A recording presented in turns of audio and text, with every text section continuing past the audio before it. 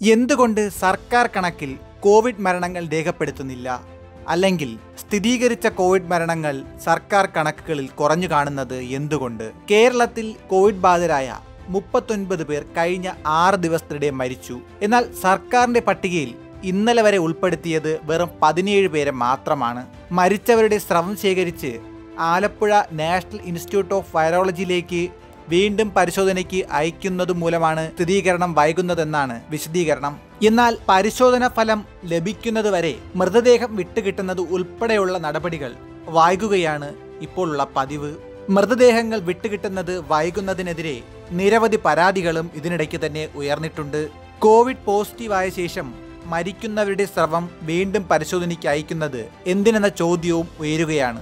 മരണം കോവിഡ് മൂലമല്ലെന്ന് വരുത്താനുള്ള ശ്രമം മറ്റു സംസ്ഥാനങ്ങളിലൊന്നുമില്ലെന്ന് ആരോഗ്യ വിദഗ്ധർ തന്നെ പറയുകയാണിപ്പോൾ. കോവിഡ് പോസിറ്റീവായ മുപ്പത്തിയൊൻപത് പേരുടെ മരണം സർക്കാർ പട്ടികയിൽ ഉൾപ്പെടുത്തിയിട്ടില്ല എന്ന വിവരം നാം പലതവണ സർക്കാരിന്റെ ശ്രദ്ധയിൽപ്പെടുത്തിയതാണ്.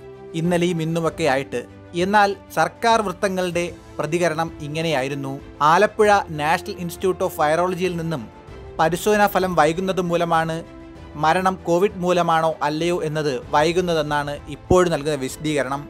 എന്നാൽ ആരോഗ്യമന്ത്രിയുടെ വാദം കോവിഡ് മരണം സർക്കാർ മറച്ചുവെക്കുന്നില്ലെന്നും മരണങ്ങൾ മറച്ചുവെക്കുന്ന പ്രചരണം ശരിയല്ലെന്നുമൊക്കെ മന്ത്രി ആവർത്തിച്ചു പറയുന്നു.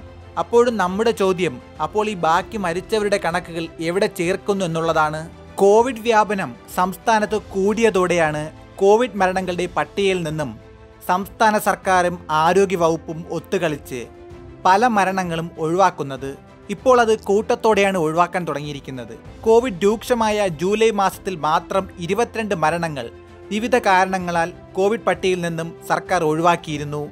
കോവിഡ് ചികിത്സയിലിരിക്കെ മരിച്ചവരെല്ലാം കോവിഡ് ബാധിതരായിരുന്നുവെങ്കിലും എല്ലാ കേസുകളും മരണകാരണം കോവിഡായി കണക്കാക്കാനാവില്ല എന്ന മാർഗനിർദ്ദേശം അനുസരിച്ചാണ് ഇതെന്നായിരുന്നു സർക്കാരിന്റെ ഇപ്പോഴത്തെ വിശദീകരണം. കോവിഡ് ബാധിതരായി ചികിത്സയിലിരിക്കുന്ന ഹൃദ്രോഗികൾ ക്യാൻസർ രോഗികൾ വൃക്ക രോഗികൾ അടക്കമുള്ളവർക്ക് കോവിഡ് ഗുരുതരമായി ബാധിക്കുന്നു. ഇത്തരക്കാർ മരിച്ചാൽ മരണം കോവിഡ് പട്ടികയിൽ ഉൾപ്പെടുത്തുന്നില്ല എന്നതാണ് ഏറ്റവും വലിയ പരാതി ഇപ്പോൾ ഉയരുന്നത്. ഈ കാര്യത്തിൽ ആരോഗ്യ മേഖലയിൽ തന്നെ അഭിപ്രായ ഭിന്നതയുണ്ട്.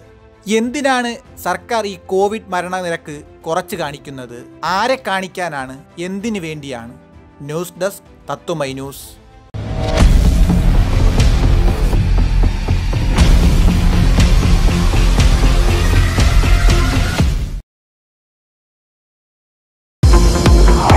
വാർത്തകളുടെ വ്യക്തവും കൃത്യവുമായ ആവിഷ്കാരം.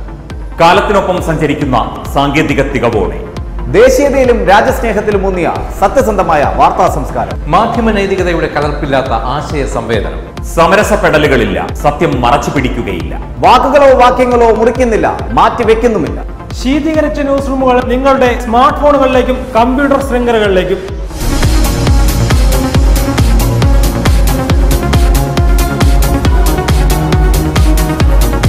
എല്ലാം ചേർത്ത് വെക്കുന്ന സധൈര്യം മുന്നോട്ട് നീങ്ങുന്ന ഒരു മാധ്യമ സംസ്കാരം.